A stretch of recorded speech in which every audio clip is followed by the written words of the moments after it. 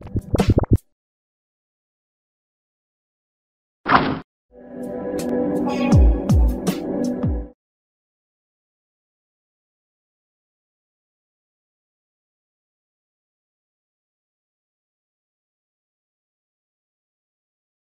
行政院也不要再以啊这个行政院的版本啊刚出炉需要所谓两个月的公告预览期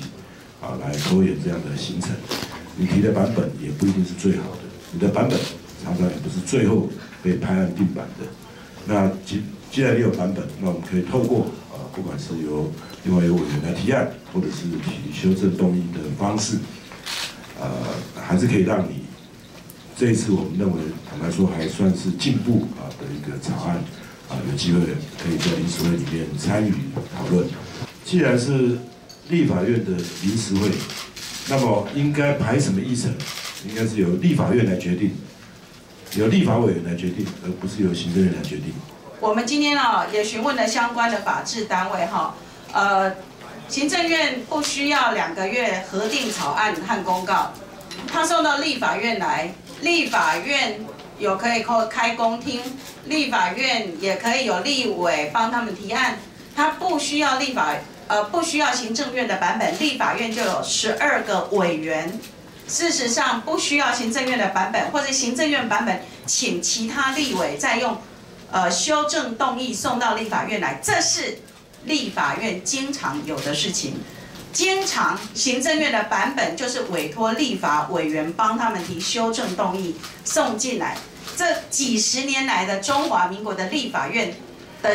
行对行政院的这个草案，有时候是行政院不想表态，哦，暗中请立委帮他提。那有时候是来不及，也请立委帮他提，多如牛毛。三十一条的部分没有错，行政院这边有做了修正。可是，在第四十七条，也就是说，哦，今天矿业权者啊，要可以，他可以提存住提存一笔价金哦，然后就可以强制使用土地这部分，他们只做了部分的修正，还是可以借由取得哦四分之三的一个多数人的同意，哦，他就还是可以去使用哦。可是我们要问的是，在公有土地上，你就必须获得公有土地的管理机关的同意。可是为什么你在私人的土地上就可以用这样子一个多数决的方式来过？我想这两者之间哦是有点不平等的一个现象啊。实际上，我们却发现说他们在修正这个三十一条的同时，却把这个三十一条原本的内涵偷渡到其他条文去。所以其实我们在这里是要严严厉的谴责我们的行政院，他们真的就是一直在推诿卸责，然后挂羊头卖狗肉，然后让放任我们的矿务局其实一直不愿意去推动这样子一个实质的矿业改革。那这个状况到现在，如果他们还要持续下去的话，其实他们要面对的就是这样子一个政权，这样子一个政府，它的执政的正当性到底在哪里？是。会备受质疑的，因为我们在现在民意，然后我们这个立法院的意愿已经这么呃一致，而且有共识的状况下，如果还不能真的急速去推动这个矿业倾斜的这个制度，能够赶快去去被导正的话，那我们的这个政府只能说真真的就是已经完全失能了。就说要落实资讯公开啦，哈，要有民众参与。可是我们可以发现一件事哦，在矿业权的审查阶段，始终没有放入公民参与的机制。这部分还是没有的，我想这个矿业权的存在啊，是所有矿业采矿的一个前提呀。你在这个最前提的这个东西的时候，你没有一个民众参与，你要大家在中后段才进去，那你早就已经拍板定案了，只是你要选择在哪里开发的问题嘛。那这样对各个民众公平吗？对在周围的民众公平吗？雅尼的现有的矿权截止日是十一月二十二。十一月二十二到今年十一月二十二，所以如果在我们临时会可以通过，可以通过这个矿业法的修正，就在这一次的临时会，或是呃第三次的临时会都可以完成的话，事实上撤销雅尼的展言，它就必须要适用新的矿业法，这对雅尼来讲要重新审视它的矿业用地，要再一次的。取得泰鲁格当地族人的土地使用同意权。那如果是这样子的话，我们就知道这个程序要重跑。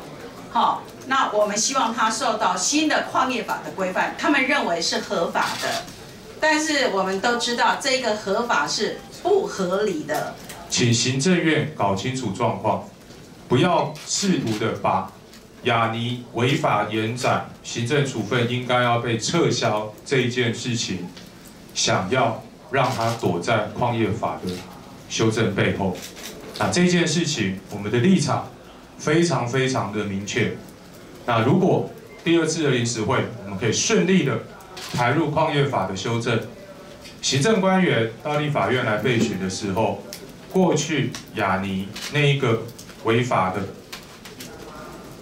继续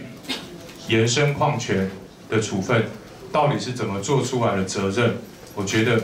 整个立法院大家都有必要共同的继续啊去追究啊。我们也会在未来的呃党政协调以及党团会议里面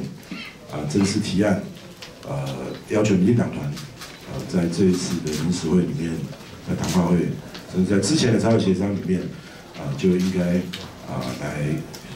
跟各党团协商，一定要把矿业法排进去。立法院有立法院的自主性，立法院有自己跟行政院一样高的高度，没有必要立法院要听行政院的，好，或者是一定要等行政院的。那我们希望，如果跨党跨党派可以支持的话，应该就是立即可以来排审，请跨党派的这个党团的干部，大家都能够同意。哦，然后大家一起来排审这个新的矿业法的审查。既然有这么多跨党派的立法委员都明确的表态承诺支持在第二次临时会的时候把矿业法的修正案排入，那因此我们会建议让这一次矿业法的修正成为跨党派所有立法委员大家的共识，那就由跨党派的委员。大家共同的参与联署，我觉得这样对于在临时会当中帮台湾的公民社会、帮台湾未来的生态环境来修一个进步、永续的矿业法，会有非常正面积极啊的意义。